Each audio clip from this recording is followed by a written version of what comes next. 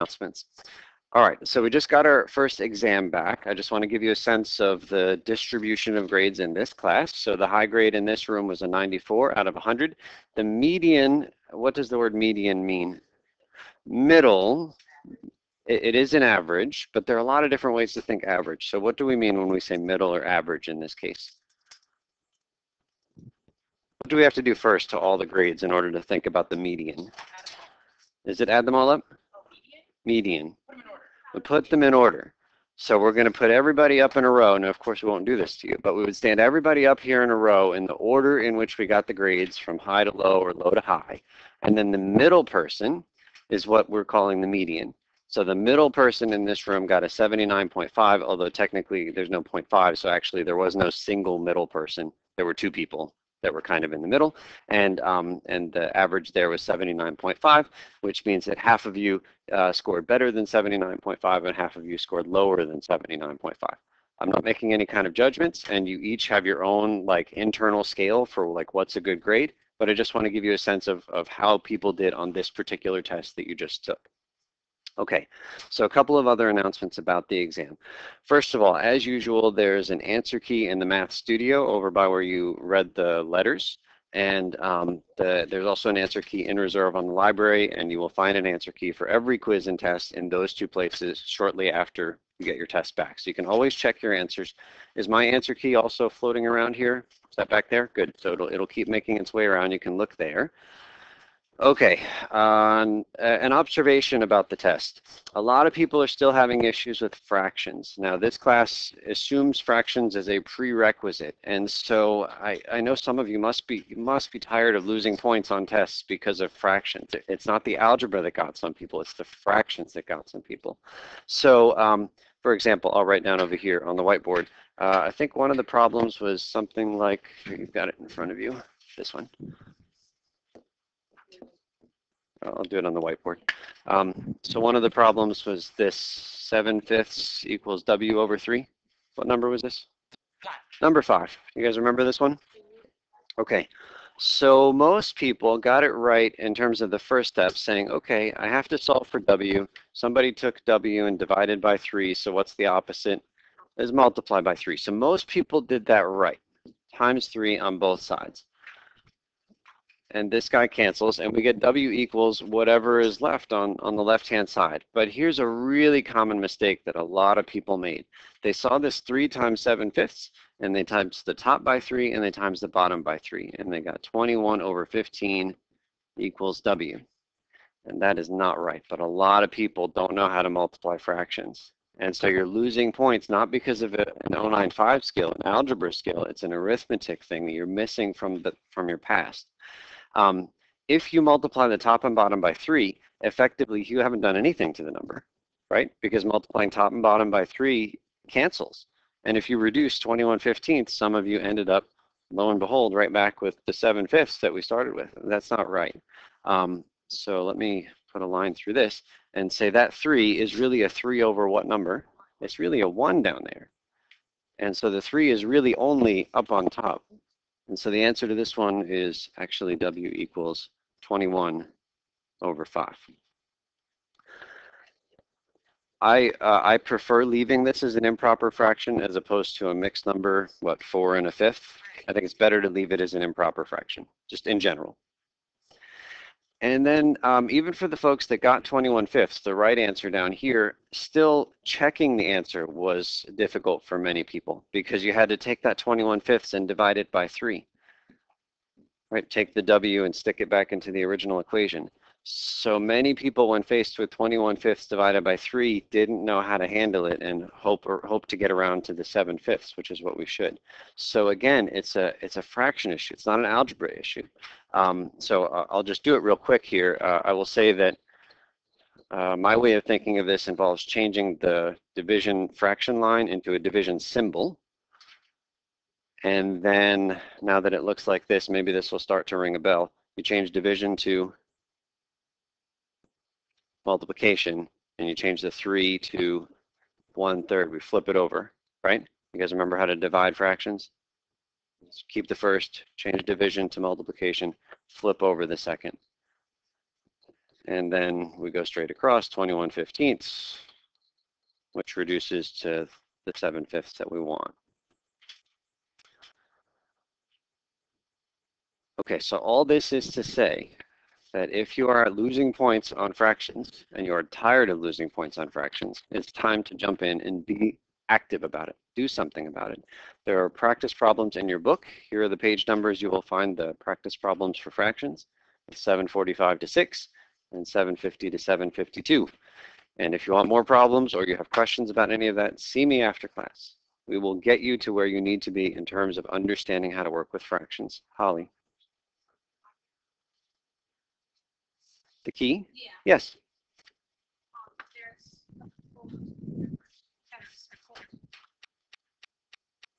Oh, the circled numbers, the circled numbers on my answer key are how many points I awarded for the partial steps along the way. Oh, thank you. Yeah, good question.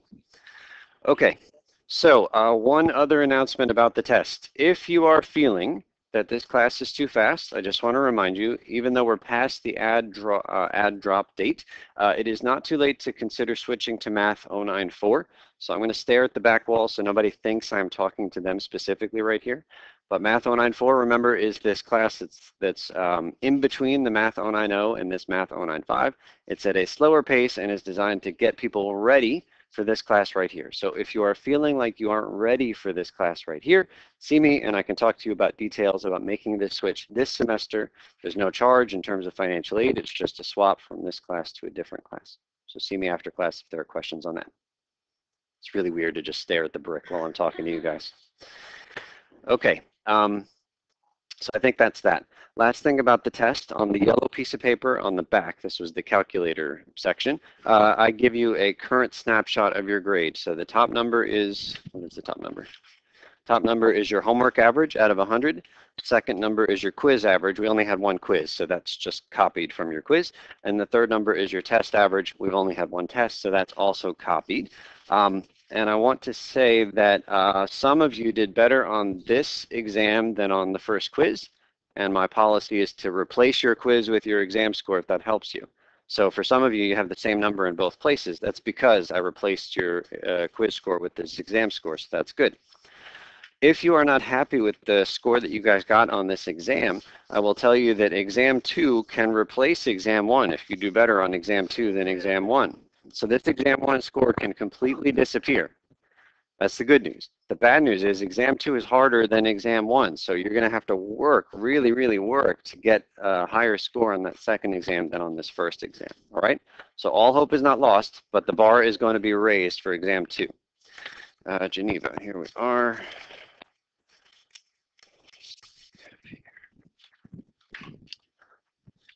Julia. Right. Randy. Tyler.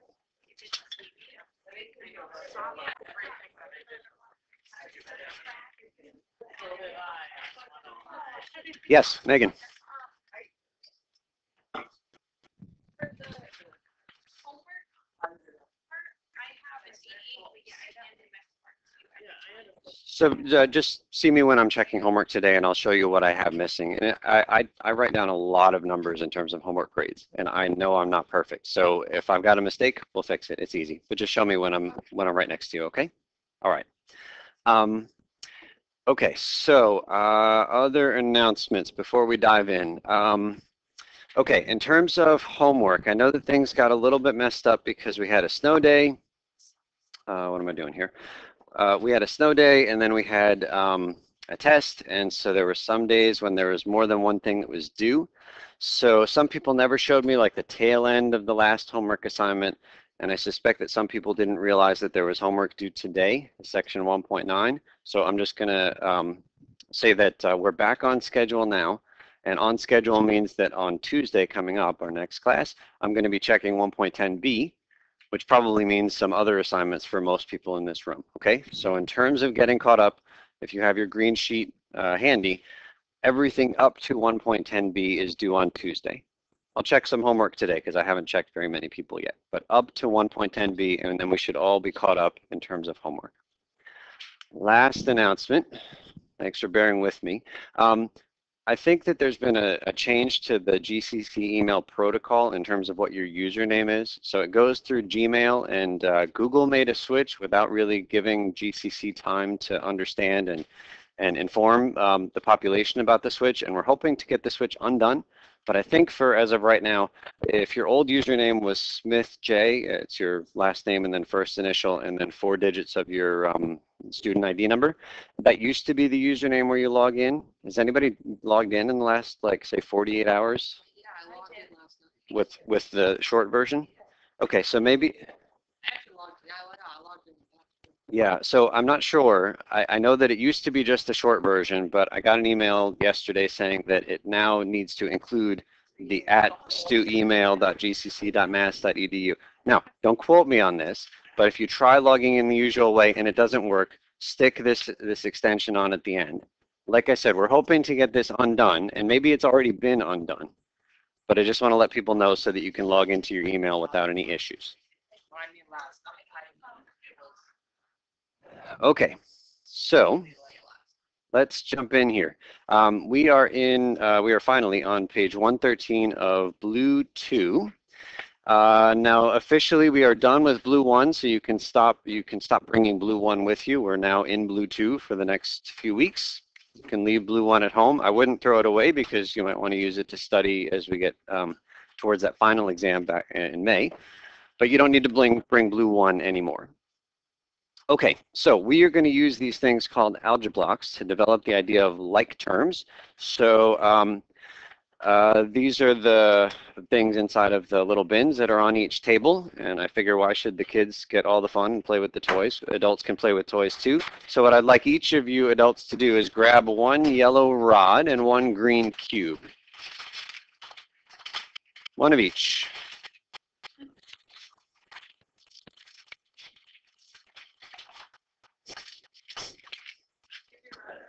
Okay, everybody has two? Okay.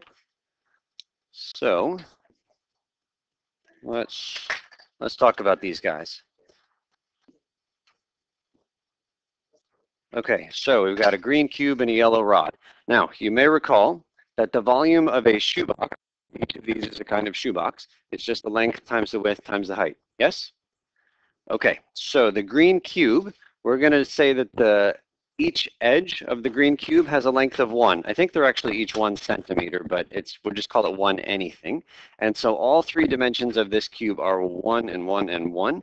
Now I'm just showing you an overhead view. There's a third dimension going into the board that I have not drawn here. But how would you find the volume of this green cube? One times one times one, yes? So what is the volume of that green cube? One. So anytime we're trying to represent the number one, we're thinking this green cube. Its volume is one. Now the yellow rod is a little bit different. So two of the dimensions, you can, you can actually line up your green cube and your yellow rod right next to each other, which means that two of the dimensions of this yellow rod, the two that you are looking at as I hold this facing you guys, what are the dimensions of that square you're looking at? One and one, because it matches this guy perfectly, right? So it's a one and a one. And then this other guy, okay, it's some number, maybe it's like a three. But what we're going to do is pretend it's a variable, and we're going to call this guy x. And so that's what I've drawn up here in black, is that the, the long side of this yellow rod is an x, it's a variable. So the three dimensions of this yellow rod are 1 and 1 and x. And we multiply them all together to get the volume is 1x. So the green cube represents what volume? 1. The yellow rod represents one vol what volume? X. So we have 1s and we have x's, and that's all we have right now, okay? So here's what I'd like you guys to do. you have a bunch of different uh, yellow rods and green cubes in the, um, in the bin. Now you're just going to do this as a table, so you don't each need to do this individually. But I would like you to form and save the following. Uh, I would like you to form and save um, something that represents 3x plus 4. So grab some stuff out of the bin, and all together I need you to make something that represents 3x plus 4. Did you want to make the three ones?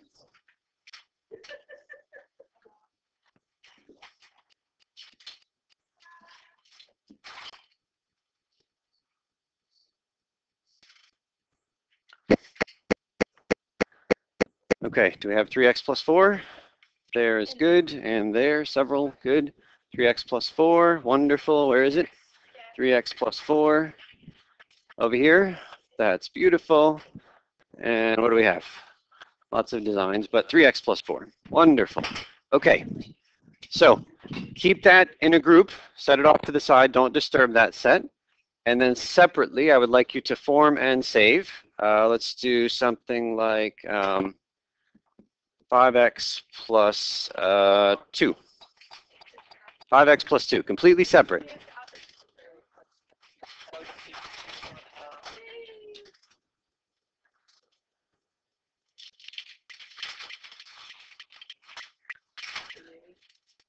Five x plus two. Everybody's got it? So we have two separate piles, right? Two separate collections, yes? Okay, now, um, what you're gonna do, uh, is, uh, is nominate some person at the table who has touched these blocks less than anybody else. Everybody has a person that has not touched the blocks yet? Yes? What you're gonna do is you're gonna shove all of these blocks in front of the person in a messy pile, so don't even try to keep them organized. And that person is going to regroup them, and then you guys are gonna tell me what's represented there. So that person, so, so regroup them in the natural way. All, all of them together now in one pile, so you're grouping all the yellow rods and separately grouping all the green cubes. Put them all together. So, how many yellow rods, or I guess I'll say this, uh, what do we have expressed in, uh, all together? 8x plus 6, agree? You have eight yellow rods and you have six green cubes. Okay, I'm going to put a symbol right in here and a symbol right in here to make something that is true. And the symbols that we're going to put are plus and equals. Yes? So this right here is an example of what we call adding like terms. And nobody had any sense that uh, a yellow rod could add to a green cube and make anything meaningful, right? They're completely separate. So in terms of adding 3x and 4 to this 5x and 2, there's no way to take that 4 and somehow mush it into that 5x, right? They just have nothing in common. They don't make 9 anything. They don't make 20 anything. There's nothing to do with each other, right? Which ones go together? Right, so then we said the 3x and the 5x go together, and that's how we got the 8x by just adding them up. And then completely separately, uh, we said that the um, the 4 and the 2 went together, and that, that was our six green cubes, okay? All right, so what I, are we okay? That there? All right, so we're gonna do together this number 9 here real quick. And I will say that equation is more complicated than any one that we've solved before. We're not going to build it, but we're going to use this idea of like terms from up above. Maybe I should write down here, say that uh, this and this are called like terms. And then separately, uh, this one and this one were also like terms. Yes? Oh, I'm sorry. I got distracted. Can I get that check? The blue too? Yeah.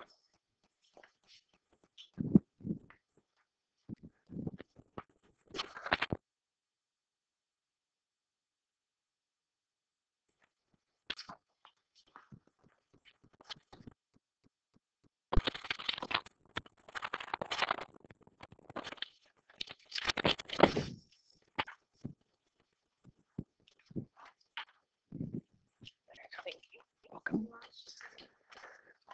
Okay, so we're going to do this one together. Some of you might have already started. So what we're going to do first is highlight the ones that go together. So I'm going to put a big line right here down on the equal sign, and we're not going to cross over for a little while. So I'm going to highlight anything that's uh, that goes together on the left-hand side. Which ones go together? 7x, 24x. I don't want to just call that 8x, although you can think of it that. I'm going to also highlight the minus sign, right? Make sure you're, you're subtracting the 8x as opposed to adding the 8x. So altogether, 7x and 24x is 31 what? Yes. X. And just make sure, it's not the same, is it? I'll, get you a, uh, It's gonna be, it's gonna be similar. It's gonna be really similar. Um, but I can't, I, I, there's too much going on right now. Okay, can I highlight one thing? Everybody right now in this room is quite comfortable saying 7x plus 24x is 31x, right? But it's going to be really tempting at some point to lose sight of the fact that we're just adding yellow rods and getting yellow rods and say, oh, there's an x and there's another x, that's an x squared. And it's not, and it never will be. All you're doing is taking some yellows and you're adding more yellows and you just get yellows. Seven apples plus 24 apples. Okay.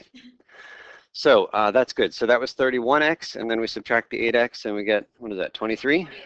23x. And then separately in green, we've got 6 and the minus 4.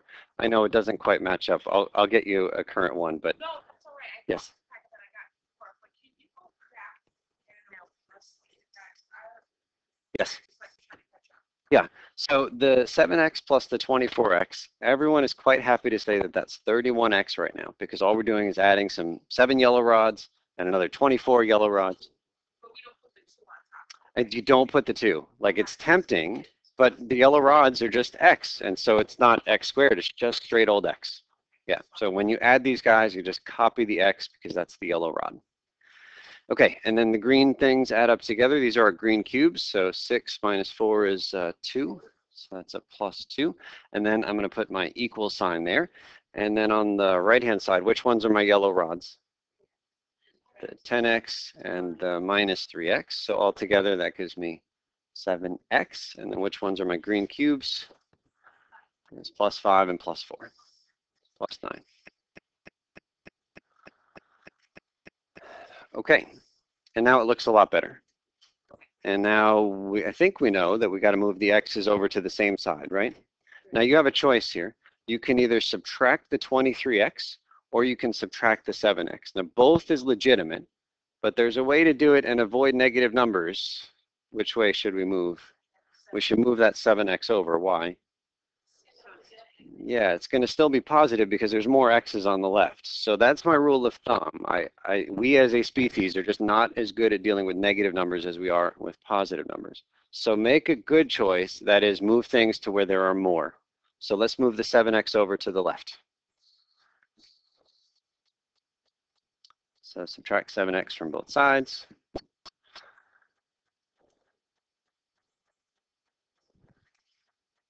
And uh, what do we get there? Uh, 16x plus 2 equals 9. We're cross, we're basically like, we're cross, right, whatever. Subtract. Uh, we subtract because it's a, it's a positive right now. We just do whatever's the opposite of what's there. Okay, and then we got to move the 2 by doing what? Adding it, subtracting. Subtract 2 from both sides.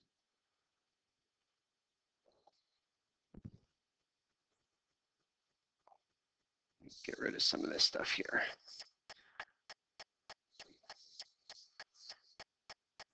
Uh, okay, so what do we have now? 16x equals 7, and then finally, solving for x. Divide by 16. The number touching the x is the one that needs to move. So we get x equals 7 over 16. Some people are disturbed when we have a fraction as an answer and you think you did it wrong. It's not. if it's Not translated to by eight, Mhm. that would be. Yeah. Obviously, two. But if it's not gonna divide, would it just leave it? Just leave it. Just leave it. Yeah, I know that some people really like decimals over fractions, but decimals are often approximations. So we just leave this as 7 sixteenths. That is the final answer. The only other obligation you would have here is if it reduced. Like if it was 8 sixteenths, as Marcy said, you would have to reduce that to 1 half. Right. But other than that, fractions are generally preferred to decimals.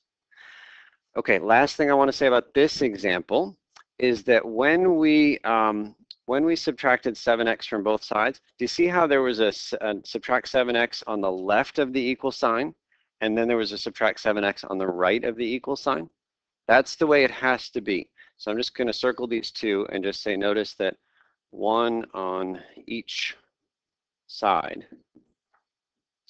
of the equal sign.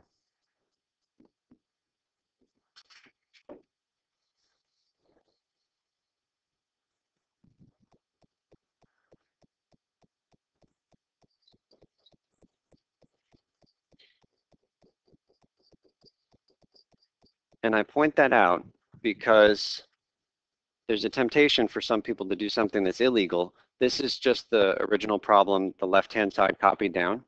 There's a temptation for some people to do the following, to say, um, okay, look, I have a 7x here, and so I want to move that. So I'll say subtract 7x, and I'll say subtract 7x, and then they'll subtract. And uh, this 7x would go away, I guess, and then the 24x minus 7x is whatever it is, 17x.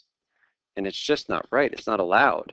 You're not allowed to subtract 7x from one term and then from another term, both on the same side. But it's tempting to do because in some sense it's cleaner. You've gotten rid of the 7x. You've compressed some x terms down. But you got to be really clear that when you're doing something uh, to both sides of the equal sign that really you put them on the separate sides.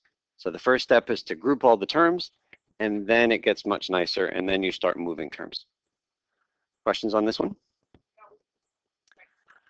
Uh, you can move to whichever side you want. I prefer to move things to keep stuff positive. I moved it to the left because there were 23 x's here, which was bigger than the 7 x's over there. Take-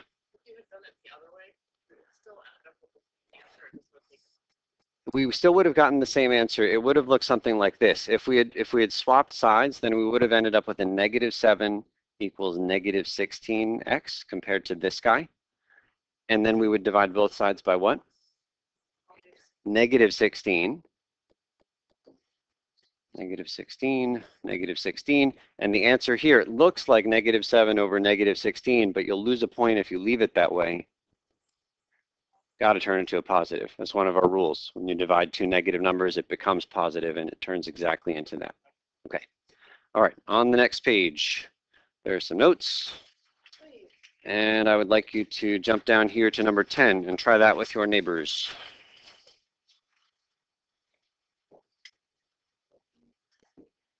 Okay, so I know we were all in different places on that previous section. Um, I think it's a really important section, so all those problems that you didn't have a chance to get to, I would encourage you to spend time over the weekend working on those. It's a really important skill. It's not one of these uh, techniques where you use it one day and then never again until the test. We're going to be using that skill throughout. So go through and fill in those blanks if you didn't have a chance to do enough problems to feel confident with that technique. Okay, so here we are on page 119. Um, we've got, uh, what do we have? We have an objective. I'm talking way too much. Jessica, can you read the objective, please?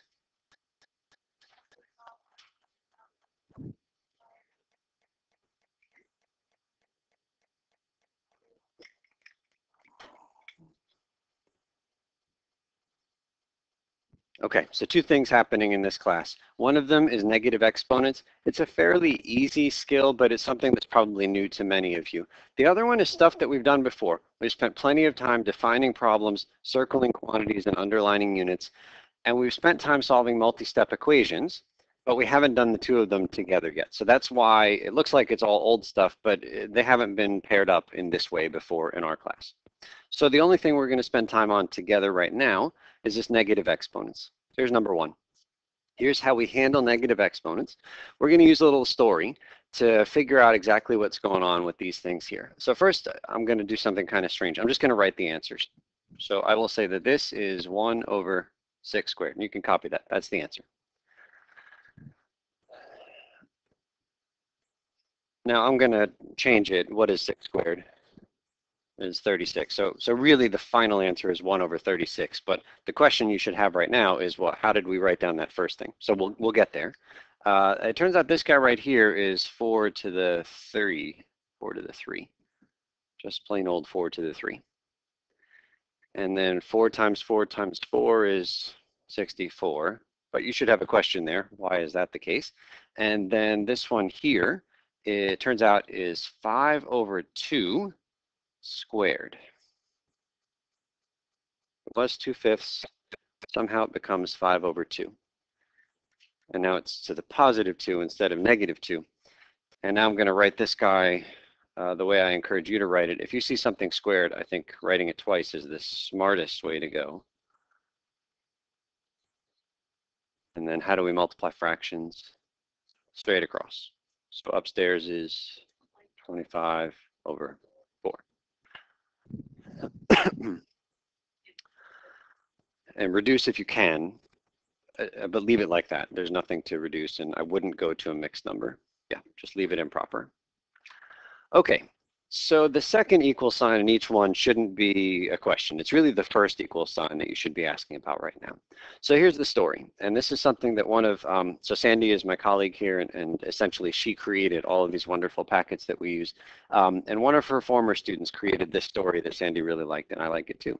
So here's the idea. You see a negative exponent. We're going to think of that negative exponent as being a baby. And sometimes babies need attention, right? Sometimes when you're holding them up, they want you to put them down. And sometimes when they're down, they want you to pick them up, right? And so they're very negative some of the times when they aren't getting what they want. And so that negative exponent you're going to think about is a negative crying baby. And that negative crying baby doesn't like the position that you've got them in. So I'm going to put a little fraction here just to make it clear which where this baby is. Uh, what's on the bottom here? There's a 1. So I'm going to say that that baby is right now upstairs, right? Up in your arms. You're holding that baby. And that baby is negative. So where does the baby want to be instead of in your arms? Wants to be down on the floor. And so we put the baby down on the floor. And the baby used to be negative, but now the baby's positive too. You see the positive? It's silly, but it's memorable. What's that? It is a reciprocal. That's what negative exponents means, is a reciprocal. But we're going to think about babies instead.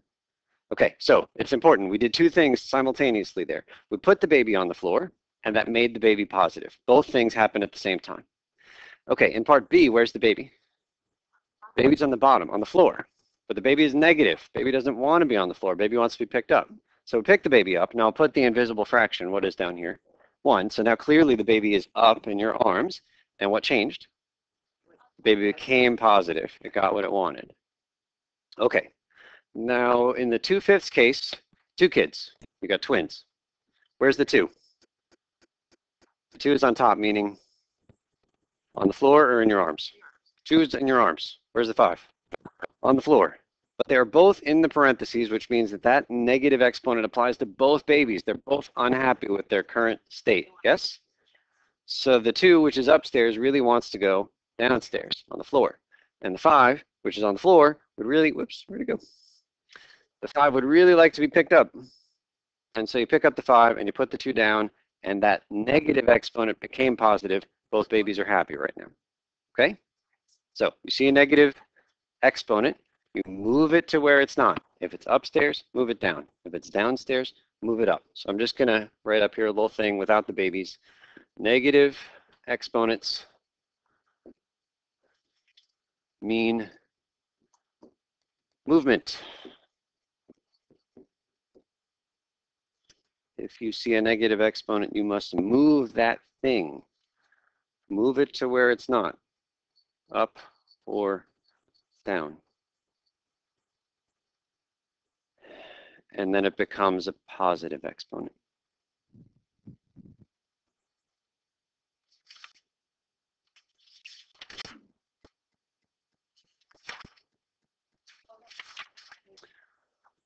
Okay. I think that's the last thing I'm going to say uh, to the entire group today, which gives us, when do we end? 45? Okay, so that gives us about 25 minutes, which is a good amount of time. You're first going to do some stuff with this negative exponents rule. So take your time, work very carefully with your neighbors. I will put the answers up, but I want to wait a few minutes before you guys have a chance to discuss before I flash up the answers, and then continue on to the next pages, which have lots of word problems. I'll walk around and help and check homework as well.